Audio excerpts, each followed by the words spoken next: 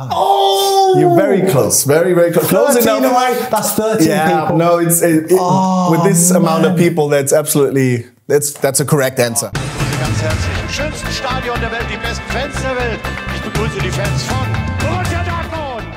Hello and welcome to this week's Matchday magazine. Before the game against Bochum, and it's a special game, I'm very happy to have Jude Bellingham here with me. Good to see you. Good to see you too. Very happy to be here. Jude, um, full stadium, Ruhr Derby. It's the chance to secure that second place in the Bundesliga.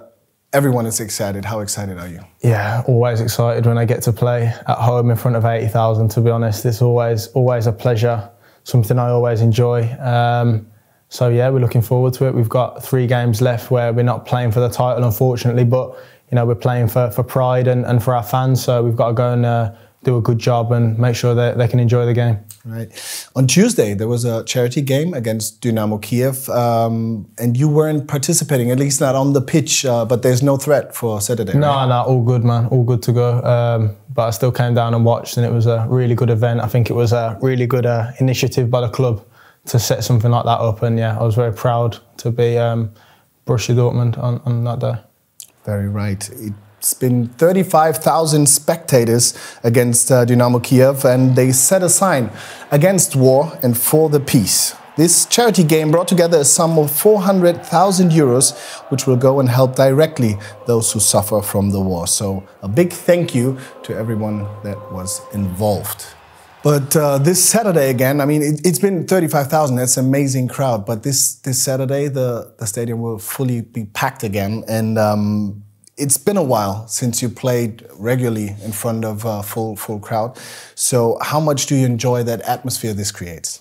Oh yeah, I love it. Um, I think you get a little bit of extra buzz from it when you're when you're warming up, and I've never seen anything like it where the the whole wall's full, but in the warm up, I mean, it's what is that like? That's crazy. Um, to come out and see that, and you know you've got all those people behind you, it definitely gives you a lot. Um, in my opinion, when when the whistle blows, I'm always pretty calm. Uh, I know my job, I know my role within the team.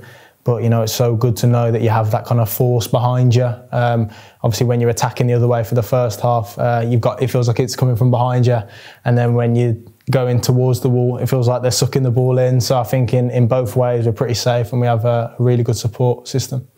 It's exactly the feeling that, that I remember playing in that stadium. And you met on Tuesday. You met uh, one of my former teammates, uh, a true BVB legend Yeah. and one of uh, the the fan favorites.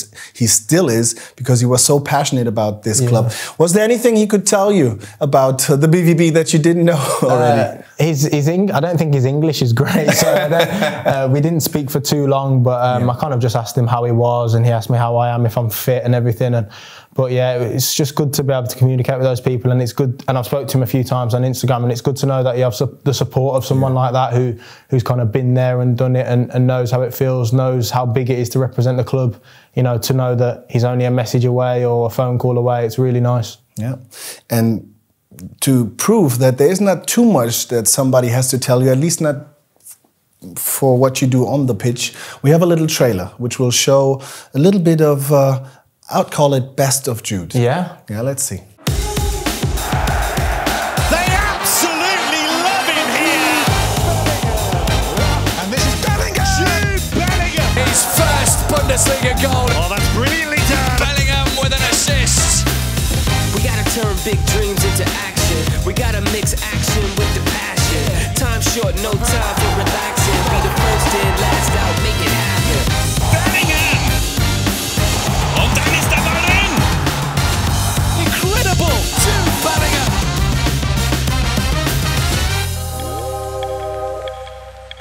Uhum. Looks good, doesn't it? Yeah, no. yeah, some good stuff in there. Some Yeah, good stuff. I mean, goals, assists, emotions, um, some nice moves, some fancy Yeah. shake and bake, as I call it. uh, how would you look back on your almost first two years now? Yeah, you know, I spoke to you after the first, before the first Yeah. year, um, after the first year, and kind of the start of this season. And I've always said to you that I want to improve every part of my game all the time. You know, there's not a single part of my game where I think is anywhere near uh, the level that it could be or should be. So I'm always trying to focus on on that and be better. Really, I'm always watching other players, trying to see what I can take from them, and then watching my own game to see where I'm good and where I need where I need more attention, maybe my own practice. So yeah, but I think um, I'm always improving. But you know, I think the the clips show that I'll always give everything. Um, I'll do whatever it takes to try and win the game for the club, um, and that will continue.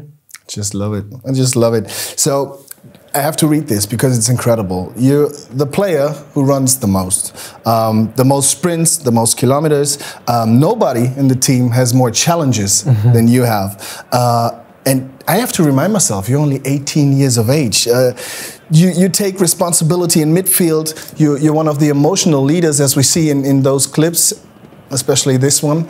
Um, so you're fighting, you're tackling, you push your teammates forward, and you, you entertain the fans. How do you see yourself, your, your, your role of yourself in, in the club, in the team? Yeah, I think it's um, it's growing, and I think it's one of those things where you have to earn the right to be a leader, especially in a in a changing with so many big players, big leaders, big characters. I think, you know, I'd like to think they respect what I give on the pitch. You know, I run hard for my teammates, uh, try and put myself in, in the way to make tackles and stuff like that. And you know, I, I never I, I know there's still ways, better ways of communicating. Sometimes I get too frustrated, or you know, and and you know that's something that I'll continue to learn on. But um, you know, it's a real pleasure to have that kind of responsibility within the team, and you know, like I said, long may it continue. Yeah, I love the passion. I really love the passion. So let's uh, take a look on Saturday. Uh, it's the Ruhr Derby against Bochum. The last time that happened, it was uh, 2009, actually. That was the time I was playing. I was playing. You were probably six. six. So uh, probably started, just started playing soccer. Yeah, I was still probably picking grass, not even interested in football. okay. And because it's such a long time ago, just to remind everybody how it is when Bochum comes to the BVB, to the Signal Iduna Park for a Ruhr Derby, here's a little trailer.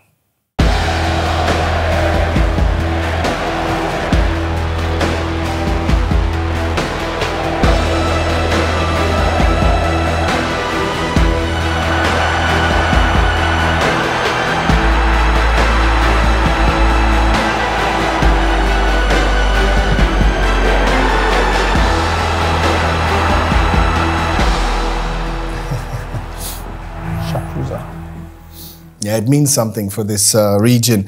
Um, the reverse fixture was a 1 1 draw. You had about 100 clear cut chances, but only could score once. What kind of game can we expect this Saturday? I think it's going to be a high intensity match. The way they play, they're going to try and put everything onto us uh, physically. Uh, you know, high energy, um, and I think it'll be played with quite a lot of emotion. Like you said, it's a derby. Uh, they want to win for their fans. We want to win for ours. Um, we, we, just have to take care of business, and you know, if we're at our best, then we know that we're we're a very good team. So that's that's what we have to aim to be uh, at our best. Before we finish up, I'd like to um, test you a little bit about what you know about this season's statistics. Okay. Yeah, it's Here we go. Not going to be too hard. So don't think too long. Just shoot. Which player you can, uh, let's say, overlap when it comes to minutes in the Bundesliga?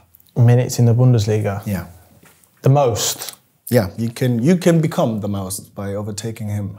Gregor Kobel. That's absolutely right.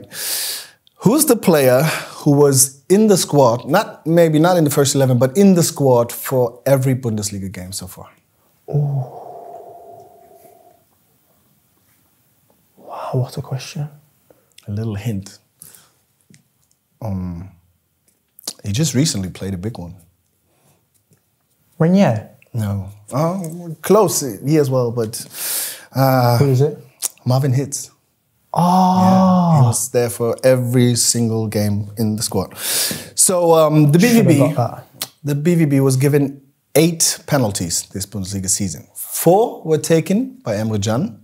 Three were taken by Erling Haaland, who played or who scored the. Rafa. Oh, oh yeah. Union Berlin. No, that's not right. Augsburg. Augsburg. But that's okay. Same no, thing. Rafa it was the guy we were looking for. So the last one, and you can't mess this one up because the fans will hold you accountable for it. Um, how many people fit in the Signal Iduna Park? I seen this on Football Manager the other day. Eighty-one Mm-hmm. three hundred and fifty-two. Phew, that's very close. I think the fans will will appreciate much is it? It's it's eighty one thousand three hundred and sixty five. Oh, you're very close, very very close. Close 13 enough. away. That's 13 Yeah, people. no, it's it, it- Oh, with this amount of people, that's absolutely that's that's a correct Oh, answer. I'm I'd say that's a correct answer. So um, before I really let you go, um, I seen in, in practice that you were trying something that you had a little challenge, a heading challenge, which involved Reinier and uh, Erling Haaland. Are you the reason that Erling Haaland improved his heading game? Um, you know, I don't like to take all the credit for things, but you know, um, to be fair, this is the only time we've done this, uh, and it took us a few times. I'm not going to Yeah. lie, but you know, it's big pressure when you start. We tried to do hundred and then walk Okay. like that, and then you know, it's good until you get to about seventy, and then you're like, oh, my neck, my head, Yeah. and everything's just going and. We managed to do it, but there was a, So lot, you- of, a you- lot of arguing in between countings. so it's hard. So you got to 100? Yeah, we did it in the Perfect. end, and then we got, got to the length of the pitch. So yeah, Very that well. was good fun with the boys. Good fun, good practice. Yeah, good practice. If I get a header uh, on Saturday, then You know where it comes from. yeah, you know why.